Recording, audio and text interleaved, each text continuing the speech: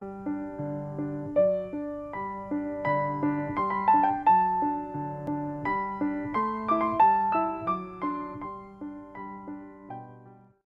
در جلوی جلو قرار گرفتن یک بهشون گفته میشه. این دو دندون های یک. حالا ما می‌تونیم به این سمت راست بریم به سمت چپ بریم. فرقی نمی‌کنه. میشه یک سمت راست. بعدیش میشه دو.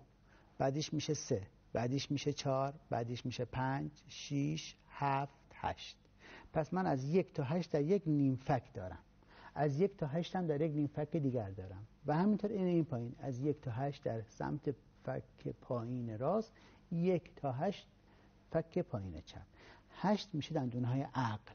که آخرین دندون است که در میاد یک در واقع دندون است که در 6 سالگی در میاد و اولین دندون های دائمی است که بیمار در میاد.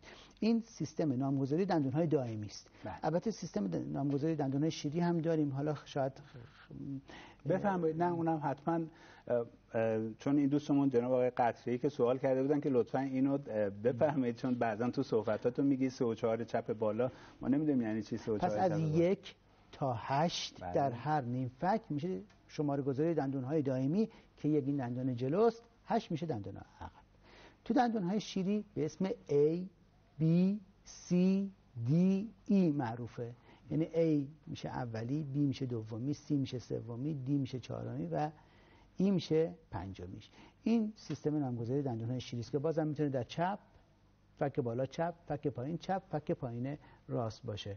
یعنی ما بیمار وقتی می‌خوایم بگیم برو دندون ای تا بکش یعنی دندون جلوی در واقع جلوش پیشش هستش. یکش میشه دندون دائم. البته هیچ موقع بیمار رو ما نمیفرستیم. معمولا دندون های یکش رو بکشه. یا حالا اگه پوسیدگی وجود داشته باشه شرایط خاصی شرایط داشته خاص بله. یا بگیم ای یک رو برو پر کن یا دو رو برو پر کن. پس دیگه. الان فکر کنم مشخص شد که سیستم نامگذاری ما